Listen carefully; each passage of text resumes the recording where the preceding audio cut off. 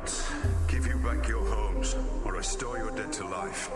But perhaps I can give you justice in the name of our king.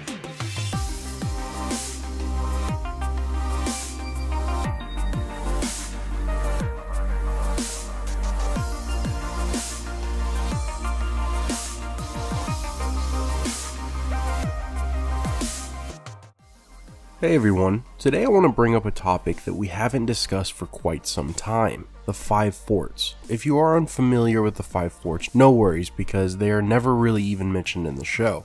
In Essos, there is a guarded barrier that serves as the northeastern boundary of the Golden Empire of Yiti.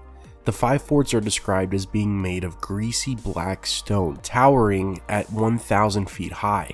That is 300 feet taller than the wall in Westeros and the forts are grouped along with other strange ancient landmarks scattered over the world made from similar black rock.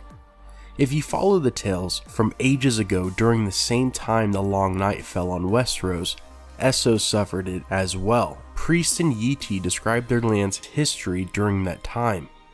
They say their god, the Lion of Night, conceived a child with the Maiden of Light, and then it became known as the God on Earth. It is said that the sun, God on earth, ruled the great empire of the dawn for 10,000 years. Not actually 10,000 years, but his successors would gain power after his death and then rule for a total of 10,000 years. Now, does any of this sound familiar to you? It seems like the past surrounding the five forts and Yiti sound weirdly similar to the wall during the long night in Westeros. Plus, if you believe the five forts were once used to defend against an undead army, let me add this as some possible evidence.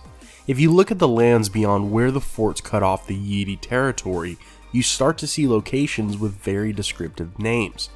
Bone Town, Cannibal Sands, and of course, the Grey Waste. What's really interesting is the areas are named after major events in their land's history. The land of the Shrikes was named after it was known that shrieking monsters were in this area, said to have green scaly skin, similar to what we might see of those with grayscale. And then the Cannibal Sands are known to be the home of a part human species that eats the flesh of others.